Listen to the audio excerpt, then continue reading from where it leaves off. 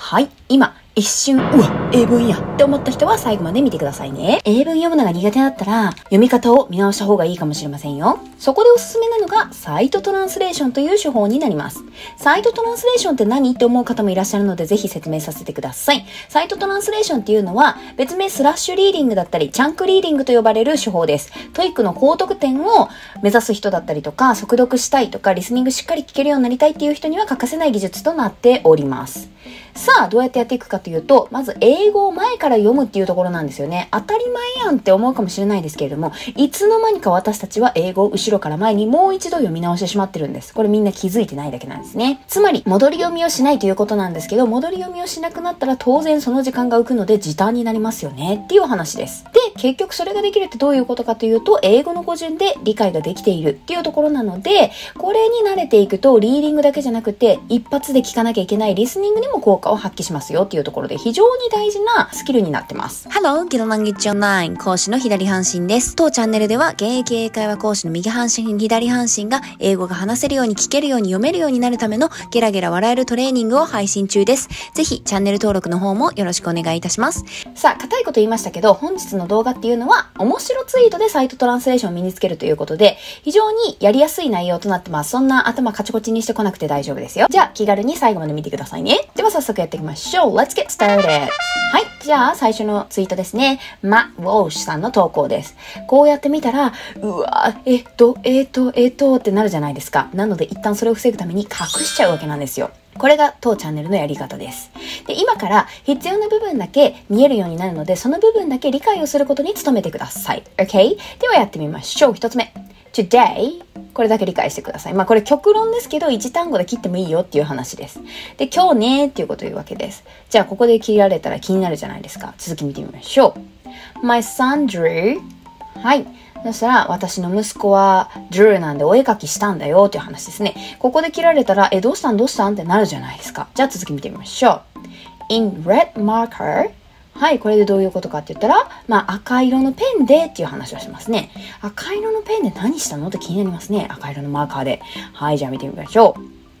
all over all over っていうのは何々中っていう意味ですね。今めちゃくちゃ細かく切ってるんですけど、で、切りすぎて分かりにくいですっていうことも言われたんですけど、あの、これ最小単位なので別に正解ないです。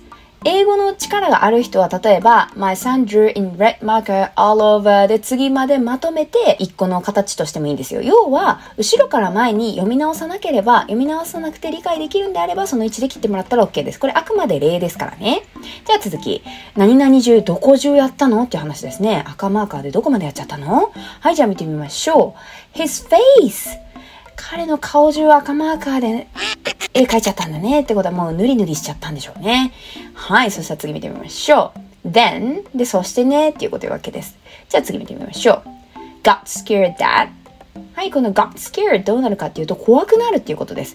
scared この受け身の形っていうのは恐れているっていう意味になります。scare っていうのはもともと怖がらせるっていう意味なんですよね。で、それが受け身の形にすると恐れるという意味になります。で、got で変化を表すので怖くなったんですね。はい、で、ざっと以下が怖くなった、何が怖くなったかということをってつなげてみてみましょう。we'd be mad はい、これで何を言ってるかって言ったら、we would be mad の略なんですよね。で、got scared 過去形なので、ここが時制の位置で、ここが we will be mad を一緒に過去形にしてるっていう感じです。私たちが怒るだろうなと、この私たちが多分ご両親ですよね。ご両親っていうのはその子供から見てご両親ね。はい、じゃあ次見てみましょう。So he tried to だから彼は何々しようとしたんだっていう話をするわけです。何しようとしたかここで切られたら気になりますよね。じゃあこのまま進んでみましょう。hide it by ここもめちゃくちゃ短く切ってますが、何度も言いますが、切り方に正解はないです。自分がやりやすい位置で切ってください。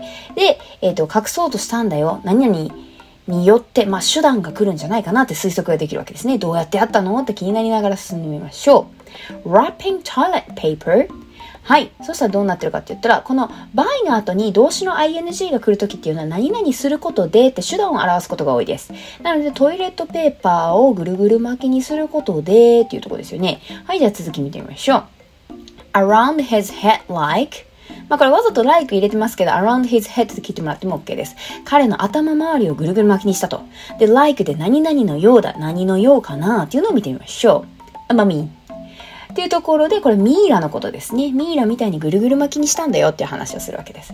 だからね、顔赤くなったのを怒られないために、この赤を隠そうとしたんだよね。はい、そしたら見てみましょう。then, ほんでね、ということを言うわけです。はい、じゃあ次。He promptly ran into promptly はね、すぐにっていう意味ですね。で、run into これでこうぶつかるとか衝突するとか、まあ出くわすなんていう時にも使うんですけど、何かしらこう合うイメージをしてください。a wall and で何に合うか、ぶつかるかって言ったら壁ですよね。で、そして、はい。nearly knocked nearly はもうほぼ何々しそうだったっていうところですね。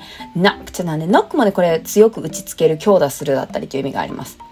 の、千本ノックとか言いますよね。のノックね。はい。himself unconscious 彼自身をもう強打するとこだった。強打してどういう状態になるか unconscious これが意識不明ですね。knock っていうのはね、時々ね、こうさせるみたいな意味で使ったりもするので、この場合は彼自身をもうちょっとで意識不明にするとこだったっていう話をしてます。はい、じゃあ次見てみましょう。a comedy of errors はい、a comedy っていうのはコメディですよね。で、えっ、ー、と、失敗のコメディだということを言うわけですね。はい。every day with 毎日が with 誰となの？はい、じゃあ見てみましょう。this kid ってことで、この子といたらもう毎日が失敗のコメディだよっていう話をしてます。はい、そしたらここで解説をもう一回振り返っておきましょう。got scared that we'd be mad さあ、これがどういうことかって言ったら、時勢の一致が起きてますよっていう話です。got scared 怖くなったっていう過去の話なので、we would be so mad 要はお母ちゃんたちが怒るだろうと思ってた、未来のことだと思ってたことが過去になるので、would を使ってますよっていう話でした。もう一つ、by wrapping この by プラス ing で何々することでっていう手段を言うことができるんでしたよね。こちら大事なので覚えておきましょう。はい。じゃあ次はフレーズに馴染みをつけていきましょう。変化のゲット、何々になるっていうところなんですけど、これどういうことかっていうと、なるって言って英語を出してもらうときってみんな become とか be とか出してくれるんですけど、become とか be よりも変化が早いときによく使うんですよね。感情とか天気によく使われるものになります。はい。じゃあ例文やってみましょう。私の上司は私のミスを知るとすぐに怒った。さあ、これを英語にしてみてください。どうぞ。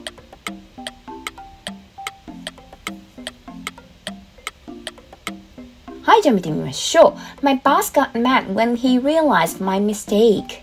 はい、realize で気づくっていう感じなんですけどね。で、えっ、ー、と、怒った。怒る時っていうのはそのゆっくりゆっくりかけて時間をかけて熟成しないですね。ポンって怒るわけなので got mad になるわけですね。でも怒った状態になったら is mad になります。はい、じゃあもう一つ。曇ってきたね。はい。これを英語にするんだったらどうしますか？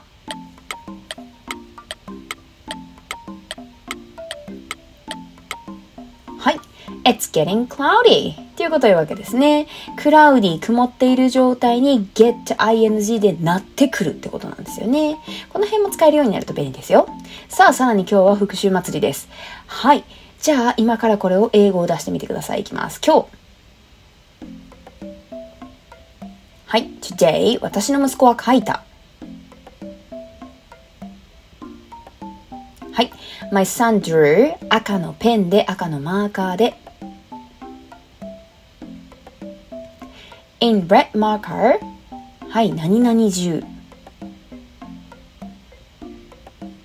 Oliver 彼の顔 His face そして Then 恐れ出した何々を got scared that 私たちが怒るだろうと be mad だから彼はしようとした so he tried to 隠すそれを何々で hide it by トイレットペーパーを巻く wrapping toilet paper 彼の頭の周り何々のように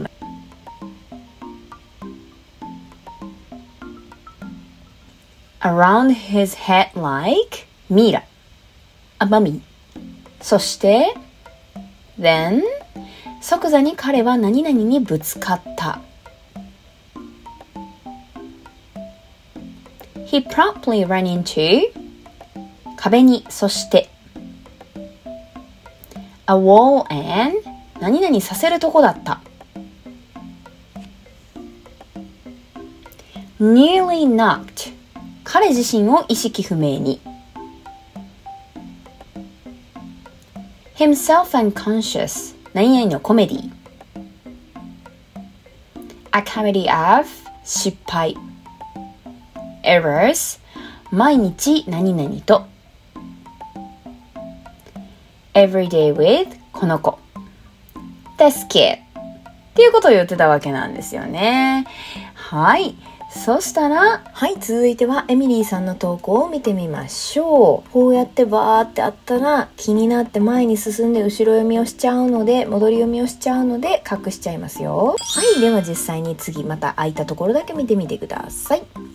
during これでまあ何々の間ですよね。大体期間が来るなと思いながら進めてみてください。My pregnancy はい、これでまあ私の妊娠中ですよね。はい、じゃあ次見てみましょう。I was so sick and はい。なので、この sick っていうのは病気じゃなくて気持ち悪いの方です。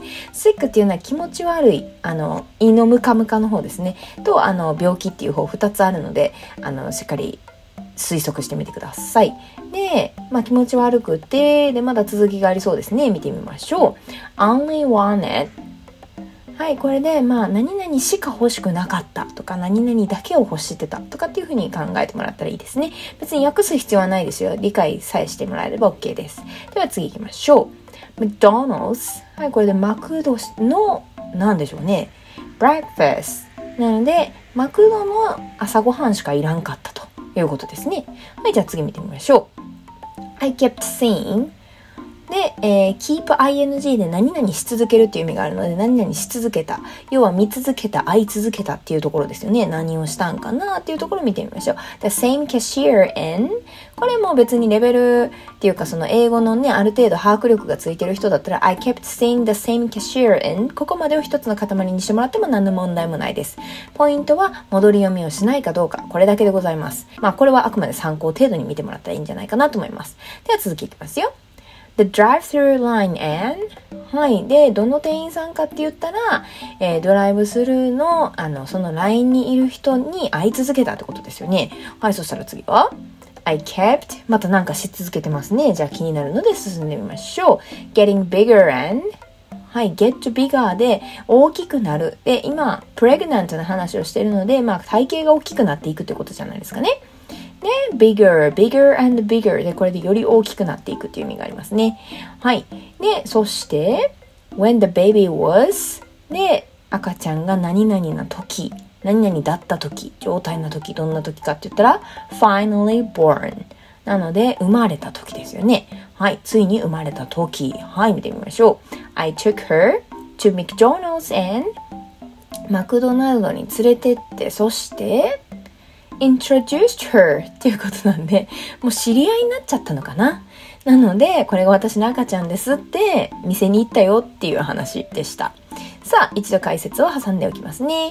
はい。during my pregnancy これがどういうことかって言ったら、えっ、ー、と、言い換えとしては while I was pregnant こういう言い方ができます。during と while の解説はちょっと後ほどしたいと思います。言い換えができるよっていうところの紹介。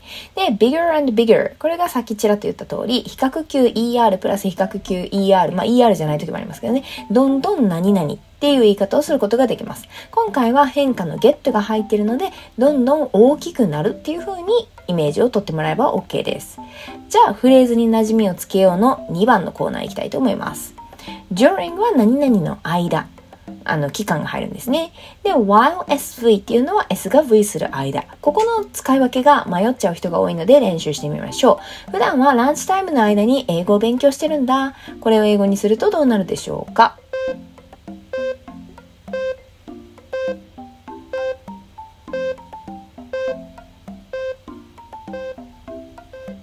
見てみましょう。I usually study English during lunch break. during つけると後ろは期間のものが入るので lunch break お昼休憩だったり spring vacation とかね。いろいろこの終わる期間その一定期間だなと思うものが後ろに来るわけですね。じゃあ似たような感じ。私はお昼休憩を取ってる間に英語勉強するんだ。これだったらどうなりますか？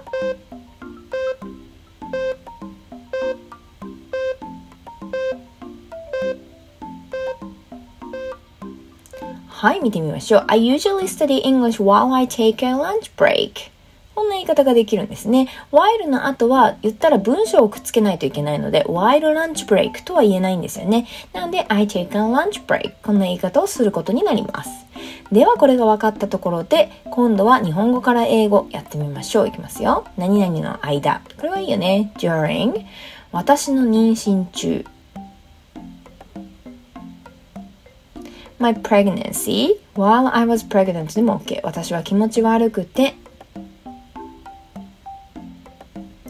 I was so sick and 何々しか欲しくなかったこの表現をしてほしいですね only wanted マクドナルドの朝食これもいいよね McDonald's breakfast 私は会い続けた I kept seeing 何々の同じレジの人 The same cashier in ドライブスルーの列そして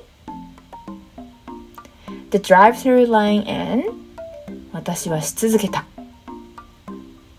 I kept 大きくなる Getting bigger and bigger でより大きくなるそしてその赤ちゃんが何々な時 When the baby was ついに生まれる。Finally born 私は彼女を連れて行った。マクドナルドへ。I took her to McDonald's and 彼女に紹介した。Introduced her こんな言い方ができるわけですね。はい。そしたら、いかがでしたでしょうか？サイトトランスレーションやってみると意外と読みやすくないですか？っていう話ですね。このようなトレーニング動画っていうのは100個以上再生リストにあるので、ぜひそちらもやってみてくださいね。本日も最後までご視聴ありがとうございました。Thank you very much for watching our lesson. See you in our next video. Bye for now. ぜひチャンネル登録もお願いします。サイトトランスレーションがしっかりトレーニングできるアプリも現在無料で大公開中です。ぜひそちらもダウンロードしてみてくださいね。概要欄にリンクは貼ってあります。Thank you very much for watching our lesson. See you in our next video. Bye.